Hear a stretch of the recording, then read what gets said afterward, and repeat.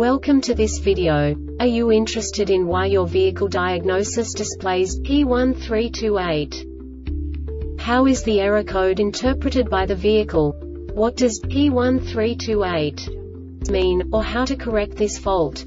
Today we will find answers to these questions together. Let's do this.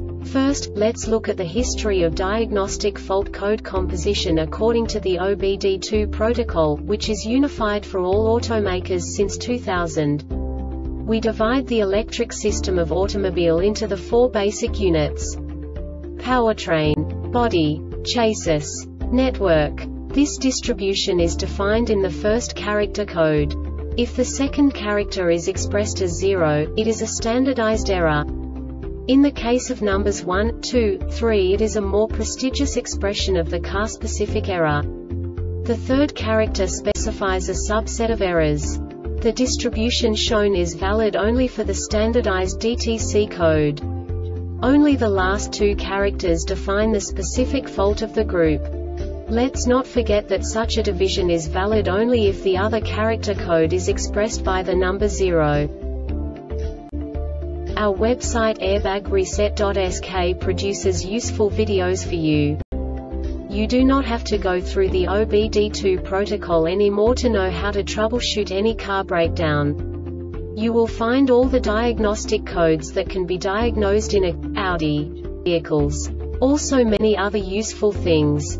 The following demonstration will help you look into the world of software for car control units. You unbelievably can move the video a bit further. The error code is split into two bytes consisting of 16 bits.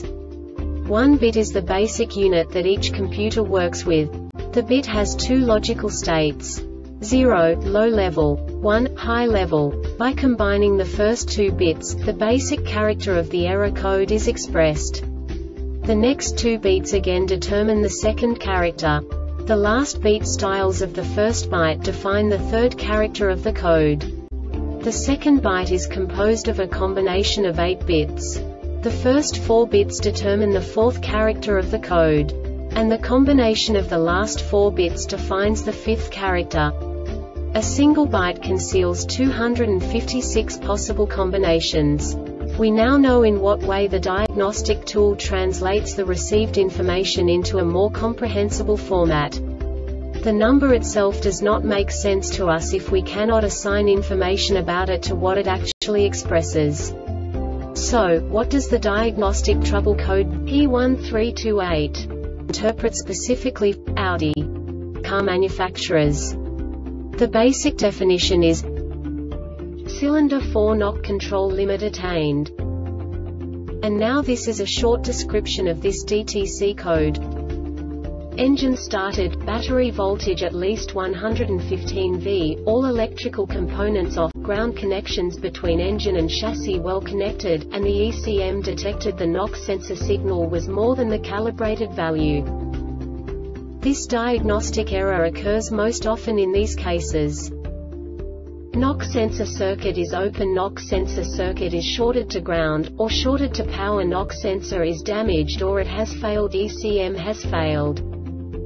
The Airbag Reset website aims to provide information in 52 languages. Thank you for your attention and stay tuned for the next video.